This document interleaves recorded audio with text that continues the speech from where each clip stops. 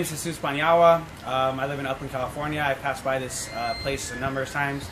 I've heard great things from it. They helped me get into my car, and it's really, really nice. And they worked with me, even though I wasn't the most workable person. um, John, he did a great job with everything, and uh, I'm happy to have my family safe in a brand new car.